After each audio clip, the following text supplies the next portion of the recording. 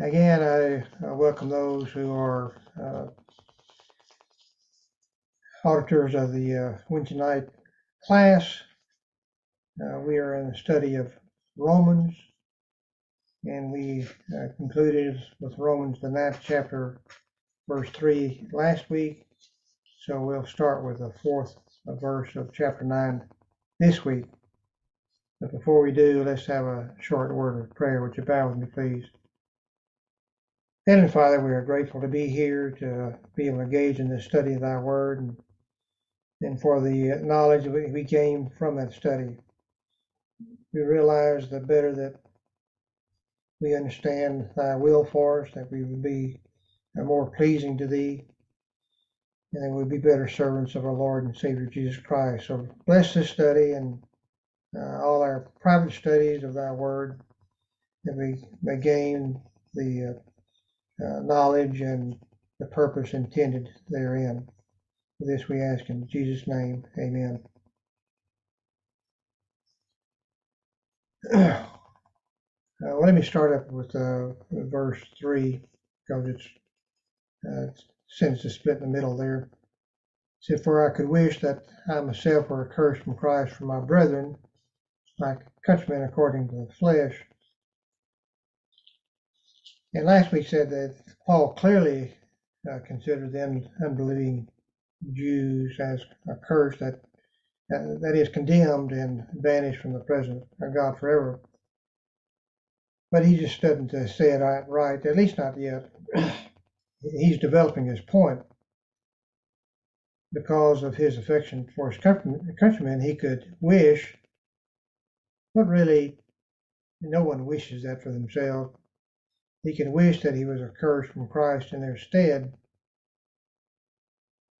And were possible for him to be accursed so that they may be justified, which it is not, you can't be a, a substitute for someone else. They have to stand on their own. Uh, that would do him no good, and it still would not bring his kinsmen to Christ. Uh, this says something about Paul's in view of the persecution he endured at the hands of his countrymen. So he had a very uh, deep uh, concern for his people. It's my countrymen according to flesh who are Israelites, to whom pertain the adoption, the glory, the covenants, the giving of law, the service of God, and the promises. Now, the Israelites are his countrymen according to the flesh, Israel was the name given to Jacob by the angel with whom he wrestled. The name passed to his descendants, uh, which the Jew considered an honor to be called. The adoption uh, pertaining to the Israelite was quite quite different uh, to the adoption pertaining to the Christian. The former implied no renewal of the inner man, but merely the distinction of being one of God's chosen people in the flesh. Now, the latter is uh, predicated on regeneration. Now, adoption to an Israelite was purely national, not individual, and therefore uh, there's no guarantee uh, of salvation. The Israelite had to add adoption in Christ, as did the Gentile, otherwise he was lost. The glory could be the divine honor uh, being given God's chosen people, but it could have reference to the Shekinah. That's the glorious symbol of the divine presence. And Shekinah is uh, defined in Smith's Bible Dictionary as a, as a dwelling. The, the term itself is not found in the Bible. It was used by the latter Jews and borrowed by Christians from them to express the visible majesty, majesty of the divine presence, especially when resting or dwelling between the cherubim on the mercy seat. In the tabernacle and in the temple of Solomon, but not in the second temple, uh, the use of the term is first found in the Targums, and you'll have to look all that up, where it forms a frequent uh, uh, periphrasis um, we would call that a paraphrase, It's a frequent uh, periphrasis uh, for God, considering it uh, considered its dwelling among the children of Israel. The idea which the uh, different accounts in Scripture convey is that of a most brilliant and glorious light enveloped in a cloud and usually concealed by the cloud, so that the cloud itself was for the most part alone visible, but on particular occasions the glory appeared. The allusions in the New Testament to the Shekinah are not infrequent. Uh, you got Luke uh, 2 verse 9, John 1 verse 14, Romans 9 verse 4, and we are distinctly taught to connect it with the incarnation and future coming of the Messiah as a type with an antitype. Now, the, covenants mentioned in this uh, uh, verse that we're considering are those which made were made uh, with Abraham, Isaac, Jacob, and Moses, especially as it relates to the Messiah. The giving of the law includes the giving of the law at Sinai. Now, the service to God refers to the whole Levitical system, and the promises are those relating to Christ and the uh, gospel. In verse 5 it says, Of whom the fathers and from whom, according to the flesh, Christ came, who is over all the eternally blessed God. Amen. Of his uh, countrymen in the flesh, uh, the fathers are their ancestors, distinguished men such as Abraham through David, through whom Christ, uh, Adam and his fleshly uh, nature was descended. Therefore, the Christ is just like them in the flesh, but is God in the spirit. the phrase, the eternally blessed God, may also be translated, God be blessed forever, depending on where the punctuation is placed. Both the King James Version and the American Standard translated uh, God blessed forever because of the placement of the comma by the translators. Of course, the Greek has no commas. Uh, regardless, Christ is now over all things. In uh, Romans, the ninth chapter, verse 6, we have the Word of God is includes that all that God has promised regarding the salvation of man, including Jew and Gentile. The condition of fleshly Israel is implied in verses 1 through 5, but not explicitly stated. Uh, that is, that fleshly Israel had rejected the Christ. That did not, however, mean that God's word has failed. It never contemplated the whole of Israel, since only a remnant was ever expected to be saved. Therefore, the word has had its intended effect. For not all are of Israel is confirmation that God's word of promise has not failed. The physical offspring of Israel do not comprise all spiritual Israel, as used in the promises included in the phrase Word of God. The true Israel have accepted Christ as a promise embrace, embrace no others. Therefore, the promise has been strictly kept.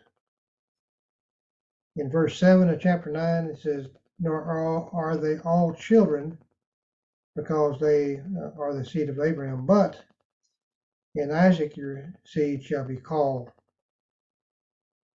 Uh, the same idea uh, as expressed in uh, verse 6, so it's kind of a repetition. They are children only within the scope of the promise, that is, the, the Word of God.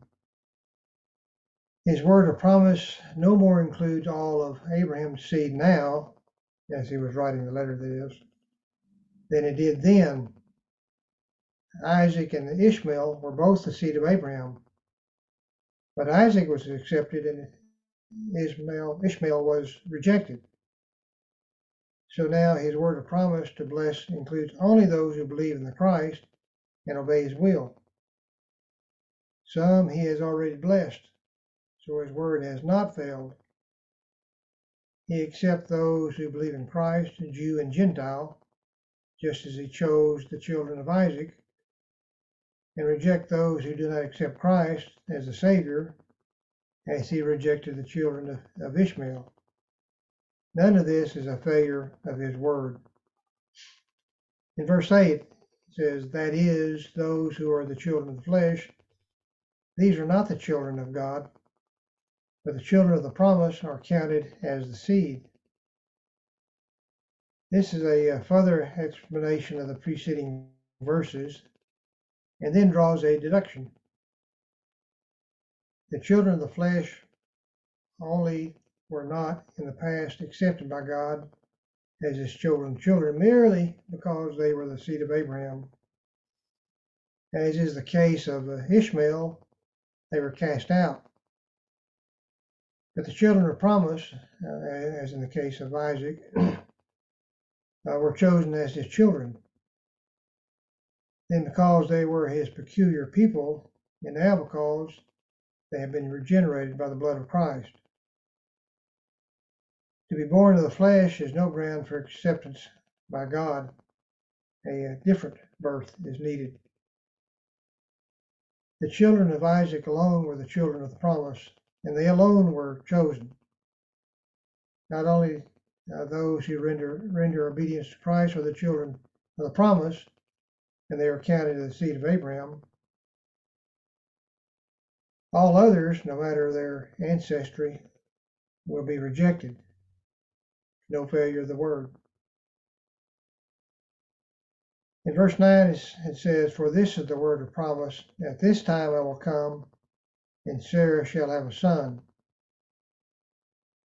The promise was made in uh, Genesis, the 18th chapter, verse 10, and he said, I will certainly return to you according to the time of life, and behold, Sarah, your son, will, shall have a son. In verse 10 of chapter 9, and not only this, but when Rebekah also had conceived by one man, even by our father Isaac, it was said to her, uh, verse 12, uh, if the parenthetical of verse 11 is ignored. Not only in the case of Abraham were the children of promise counted as children, but also in the case of Isaac. This uh, further confirms that the children of promise are counted as children. And here's the parenthetical for the children not yet being born, not having done any good or evil, that the purpose, purpose of God according to the election might stand, not of works, but of him who calls.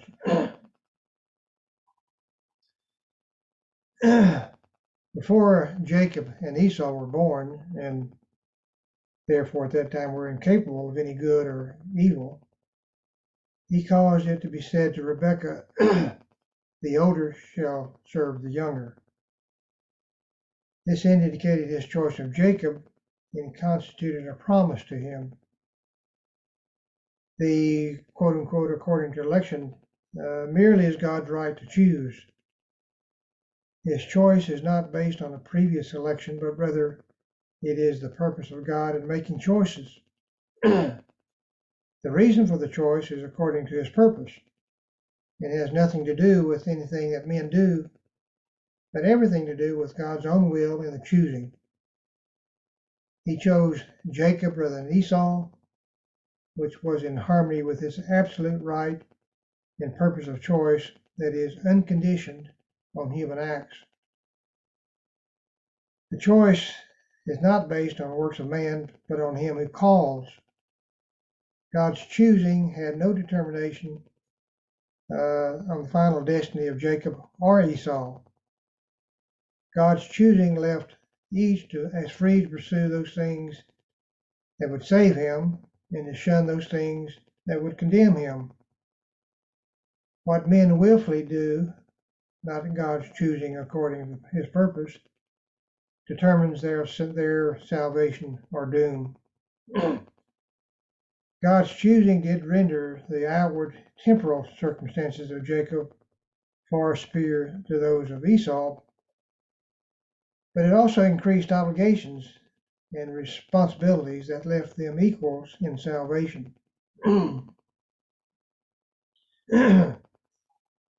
Verse 12 of chapter 9 And it was said to her, The older shall serve the younger. uh, considering verse 13, which we'll get to shortly, this is clearly regarded by Paul as referring to Esau and Jacob.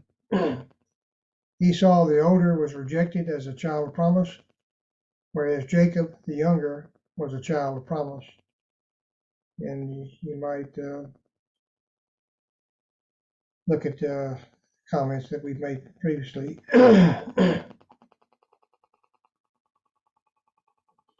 In verse 13, uh, it reads, As it is written, Jacob I have loved, but Esau I have hated.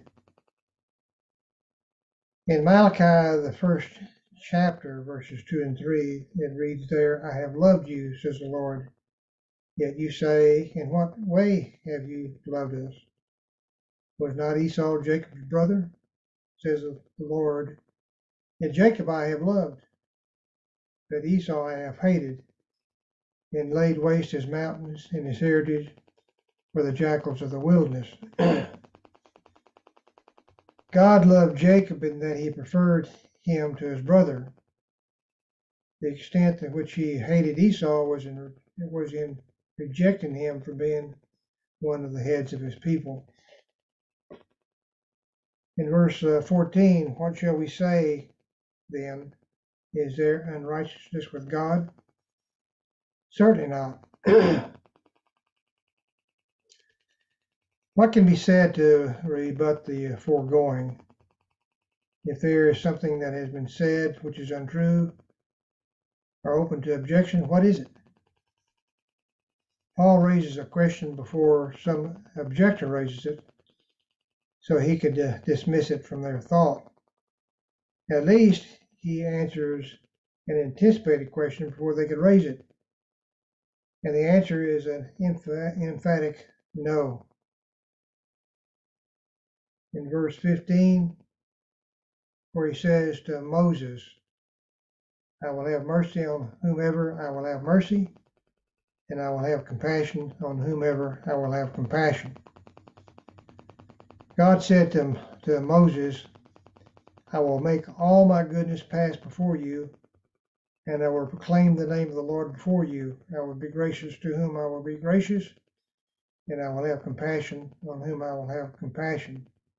Exodus, the 33rd chapter, verse 19. well, why is this?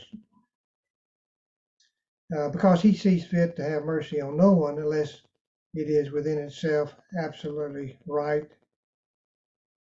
He acted on this uh, principle in the case of Isaac and Ishmael and Jacob and Esau. He chose Isaac, Isaac and Jacob because it was right. In choosing Isaac, he worked no ill uh, whatever to Ishmael. His choice of Isaac had no more effect on Ishmael than if no choice had been made. God did not curse Ishmael or become his enemy.